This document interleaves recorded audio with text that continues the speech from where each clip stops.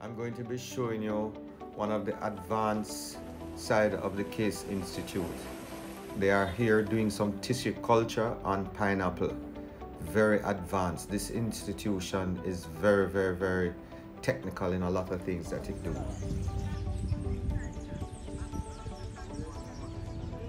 We are here now at the horticulture section unit where they are propagating um, pineapple, a special variety of pineapple. You call it the Spanish red. Spanish red. Right. So you can tell me about the Spanish red. That the only place that this pineapple exists now here in Jamaica is right here at Case, and they use tissue culture to grow and propagate this um this new um type of pi- variety of pineapple. What is the advantage of this variety?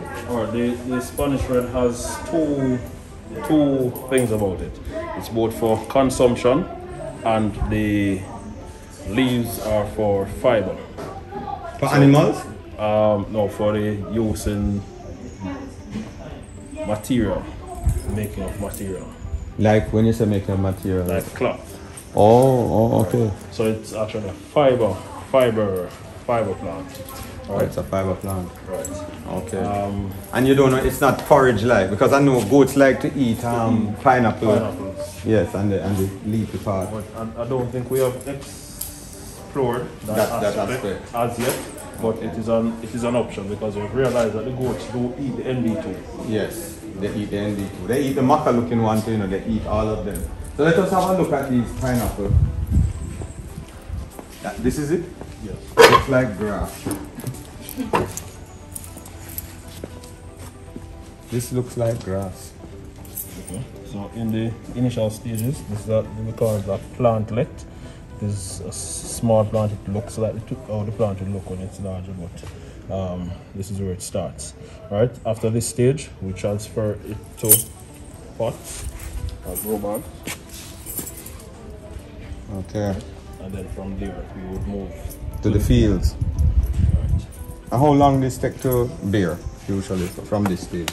All right. Um, it should take at least six months in this stage before it is planted out.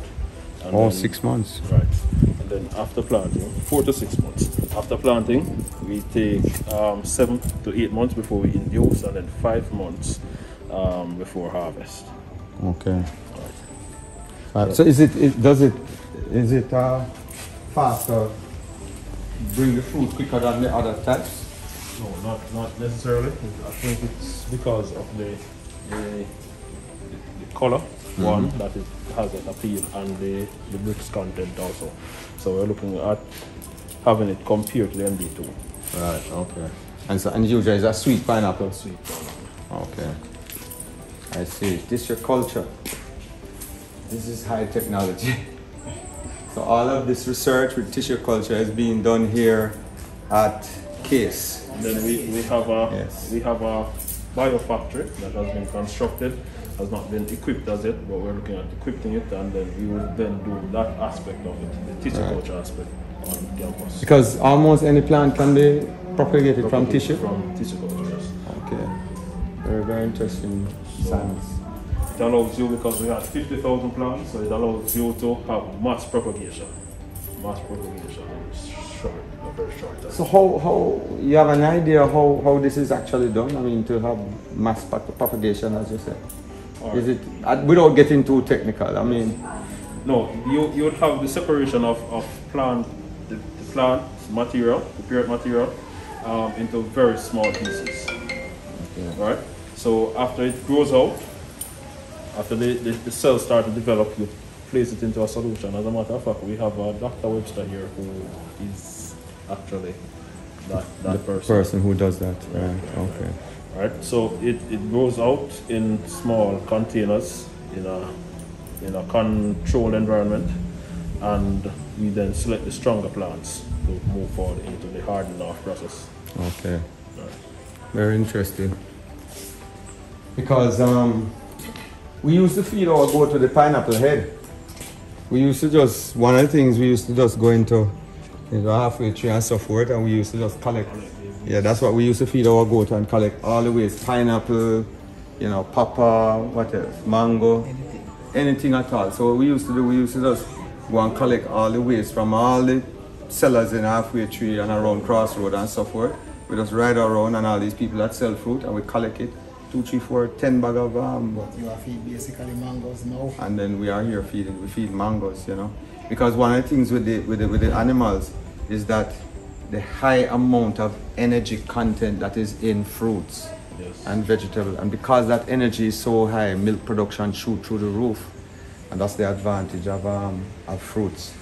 And, and fruit type material with um with the goats them very nice all right so any other interesting thing you do here i see you look like you're doing sweet potato Yeah, we actually do the propagation that house with propagation sweet potato. Special variety also. So guard. Mostly.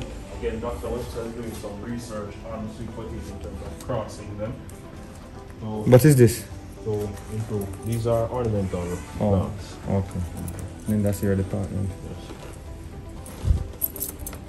So why you plant them in sand though? Sand is the better medium? It works easier Oh. and it drains. So when you're doing potted plant, I always planting it in, in dirt and manure, like like for example the mulberry.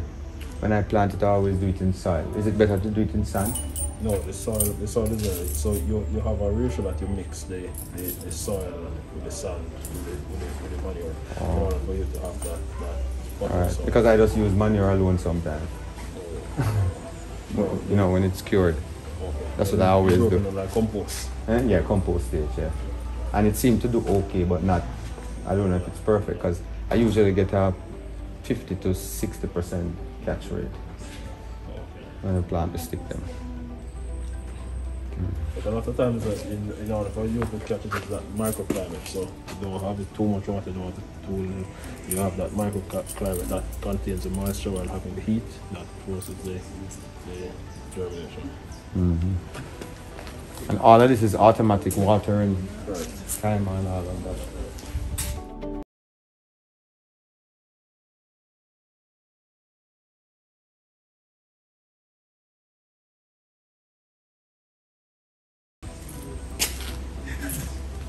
Mr. Brown, this is high tech. Yeah. Up there. Up here.